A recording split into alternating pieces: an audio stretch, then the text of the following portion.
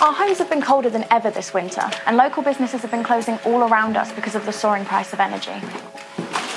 But don't worry, we're not here to depress you.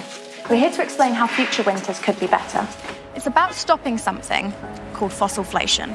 So, what is fossilflation, and why should it matter to all of us? Fossilflation is when our energy, food, and other prices at home go up because our whole system relies too much on fossil fuels, like oil and gas, which can change in price at the drop of a hat. So, what's pushing up oil and gas prices? Well, the first problem is most of the energy we use comes from abroad and is bought on global fossil fuels markets. So, when a pipeline bursts in one country, or when war breaks out in fossil fuel producing countries, or even when global producers decide to cut production just to boost their own bottom line, it can impact household bills all around the world.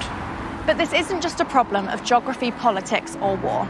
Right now, we have a broken system that allows fossil fuel giants like Shell to continue reaping record profits, even as the soaring price of that fuel cripples everyone else. And it doesn't matter where in the world these companies drill, the price for you will remain the same.